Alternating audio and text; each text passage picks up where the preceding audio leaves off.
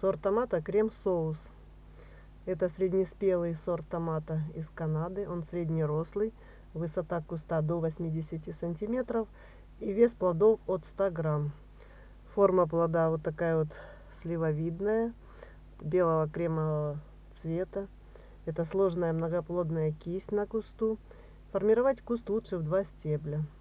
Сорт очень урожайный, плоды похожи на конфеты из молочного шоколада. Сорт подходит для выращивания как в открытом грунте, так и в теплицах.